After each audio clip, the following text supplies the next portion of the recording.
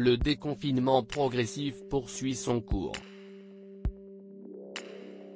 Ce dimanche 14 juin, Emmanuel Macron s'est de nouveau adressé aux Français à l'occasion d'une allocution télévisée, deux mois après sa dernière prise de parole datant du 13 avril 2020. Lors de ce nouveau discours, qui a attiré entre 21 et 22 millions de téléspectateurs, le président de la République a annoncé la réouverture des crèches et des écoles, mais aussi celle des restaurants. Une bonne nouvelle pour les chefs cuisiniers, anonymes comme célèbres, inquiets pour leur métier. Mais en Angleterre, l'histoire est différente. Et Lady Diana aurait certainement été déçue de le constater.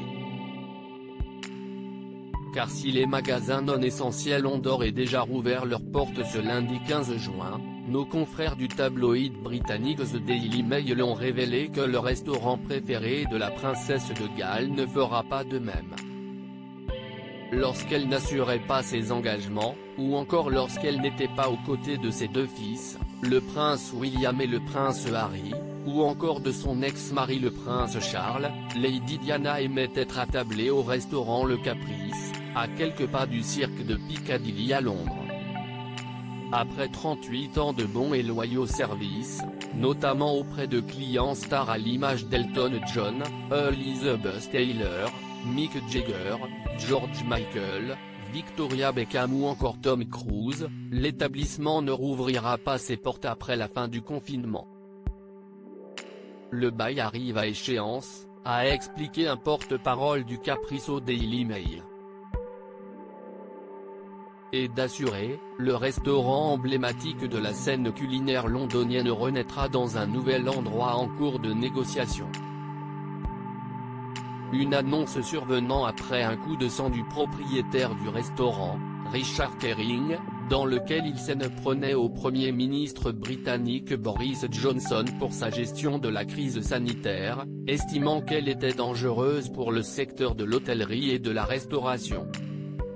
Lady Diana morte depuis près de 23 ans le 31 août 2020, les proches de Lady Diana se rappelleront d'un triste jour, celui de la mort de la princesse des cœurs.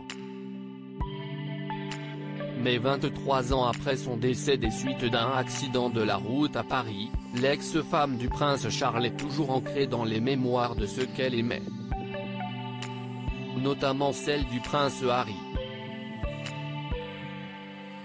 Et alors qu'il est confiné à Los Angeles, cerné par les proches de Meghan Markle et sans repère, les rumeurs affirmaient que ce dernier aurait reçu l'aide précieuse de l'actrice Lisa Minnelli. Une amie proche de sa défunte mère. Finalement, la star du film Cabaret a démenti ces informations dans une publication dévoilée sur son compte Facebook.